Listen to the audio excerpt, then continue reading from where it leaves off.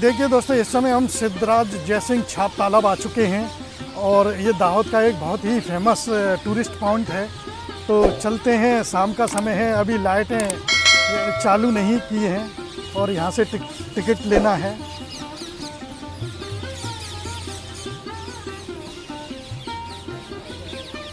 ये काना टिकट ले रहे हैं। कितने का टिकट है? ट्वेंटी। बीस रुपये का टिकट है। और ये देखिए, बहुत ही सुंदर गार्डन है। शाम का समय है, पौने सात बज रहे हैं इस समय।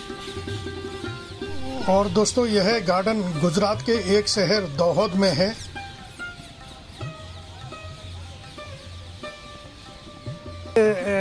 सनसाइड सूरज ढलता हुआ कितना सुंदर लग रहा है यहाँ। बहुत ही सुंदर इस समय मूवमेंट है। दोस्तों, ये दोहद में एक बहुत ही बेहतरीन और सुंदर लेक है और इसको यहाँ पर सिद्धराज जयसिंह छाप तालाब के नाम से जाना जाता है।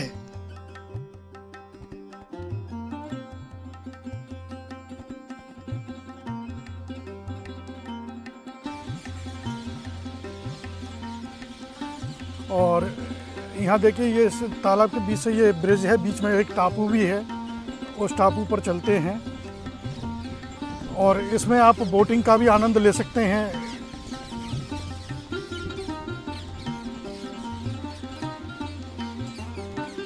दोस्तों, जो सिद्धराज जयसिंह मालवा पर विजय प्राप्त करने जा रहे थे, उनकी सेना यहाँ पर दाहोद में उन्होंने डेरा डाल रखा था और उस सेना की जनसंख्या इतनी थी कि उनको पानी की ज़रूरत पड़ी थी तो उन्होंने एक एक सैनिक ने बाल्टी भरकर मिट्टी निकाली और उस मिट्टी को निकालते निकालते यहाँ सतह पर पानी आ गया, जब इस झील का यह निर्माण हुआ।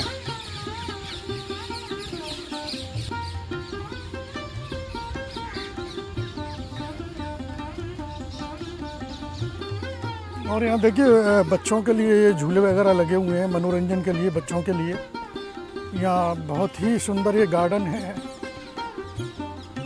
अभी यहाँ इतना भीड़ नहीं है, अधिकतर भीड़ वीकेंड पर ही रहता है। संडे को ज़्यादा ही रहता होगा भीड़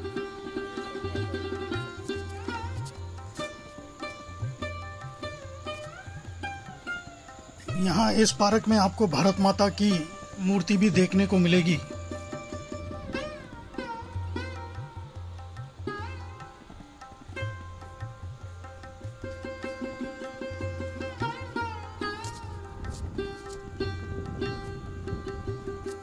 इस हाँ वाश टावर है। इस टावर के ऊपर चलते हैं और देखते हैं यहाँ से किस तरह का दृश्य नज़र आता है।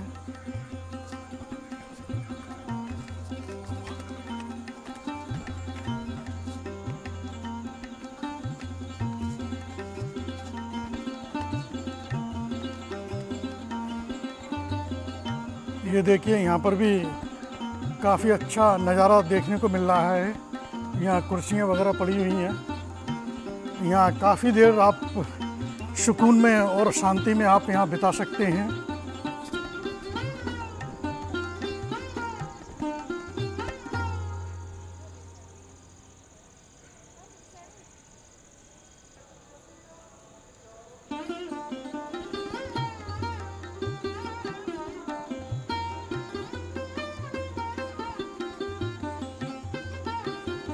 दोस्तों, अभी पूरे सात बज चुके हैं, अभी लाइटें नहीं जलाई गई हैं। जिस समय यहाँ लाइट जला दी जाएँगी तो इस पार्क की, इस गार्डन की सुंदरता देखते ही बनेगी।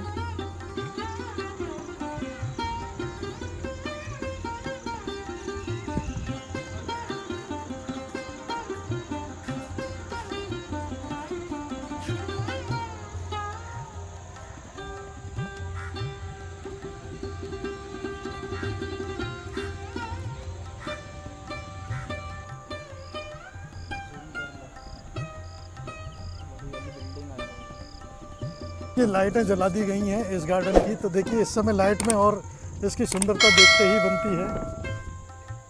तो आगे चलते हैं और देखते हैं। दोस्तों, कहा जाता है कि सिद्धराज जी की इतनी विशाल सेना थी कि उनके द्वारा यह तालाब एक ही रात में इस तालाब का निर्माण हुआ था। और आज भी यहाँ पुरातत्व विभाग द्वारा समय समय पर खुदाई के दौरान यहाँ उस समय के अवशेष प्राप्त होते रहते हैं। दोस्तों, इस ऐतिहासिक लेक का निर्माण स्मार्ट सिटी परियोजना के तहत किया गया है।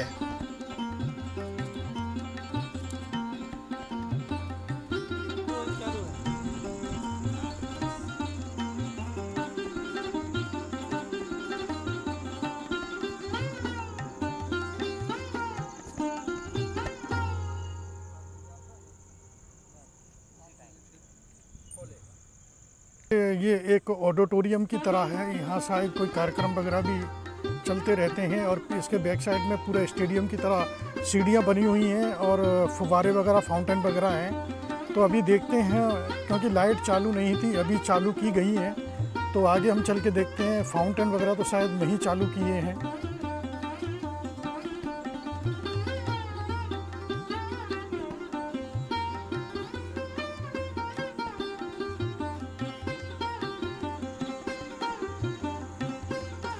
और ये मेरे आगे काना और उनके मित्र चल रहे हैं।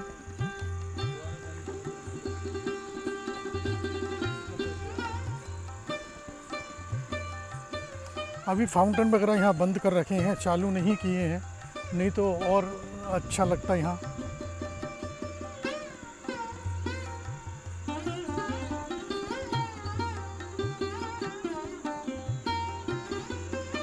दोस्तों, इस लेक में जो गार्डन है, यहाँ आपको खान पान डेक स्थल क्षेत्र और बच्चों के लिए खेल कूद का मैदान और झूले वगैरह और योगा केंद्र और टॉयलेट ई टॉयलेट वगैरह आपको सब कुछ मिलेगा। और यहाँ सेल्फी पॉइंट, जॉगिंग ट्रैक और साइकिलिंग के लिए भी यहाँ ट्रैक है। तो यहाँ नौका बिहार भी आप कर सकते हैं। तो काफ़ी कुछ है इस गार्डन में आपको प्राप्त करने के लिए। ये बोट वगैरह हैं यहाँ इन बोट्स के द्वारा इस तालाब में आप बोटिंग कर सकते हैं और ये जब एंट, एंटर करते हैं तो ये देखिए बाहर ही ये फ़ूड कोर्ट वगैरह बना हुआ है यहाँ रेस्टोरेंट वगैरह है खाने पीने की सभी व्यवस्था यहाँ मौजूद हैं।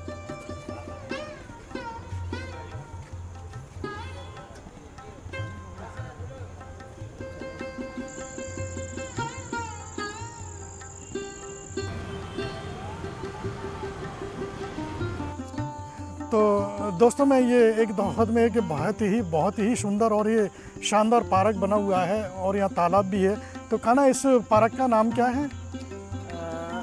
सिद्धराज जयसिंह छाप तालाब तो ये इस तालाब पर हम आए हुए हैं और ये बहुत ही बेहतरीन और इस दाहोद की एक अच्छी धरोहर है।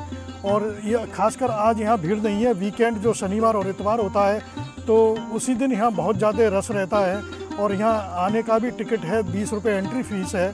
तो दोस्तों यहाँ आपको बोटिंग की भी सुविधा मिलेगी और काफ़ी ये शांत माहौल है। और आप यहाँ आ सकते हैं। ये मेरे चाचा जी के लड़के हैं मेरे छोटे भाई हैं और इन्हीं के थ्रू मैं यहाँ आया हूँ और ये उनके मित्र हैं। नमस्ते। आपका शुभ नाम सर? सूरज यादव। ये यादव जी हैं तो इनसे मिलकर बहुत खुशी हुई। तो आज इन्होंने मुझे इस पार्क का भ्रमण कराया। तो दोस्तों यहाँ आकर के मुझे बहुत अच्छा लगा।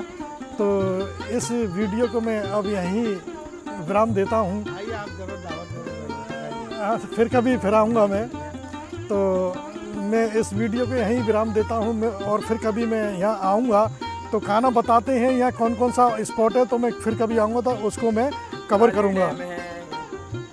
तो ये जो भी स्पॉट मेरे को बतला रहे हैं मैं अगली बार कभी आऊँगा फुर्सत से तो यहाँ का पूरा मैं उन स्पॉट पर जाऊँगा और आपको भी उनका दर्शन कराऊँगा। देवझरी मंदिर देवझरी मंदिर और पावागढ़ मंदिर के भी दर्शन कराऊँगा।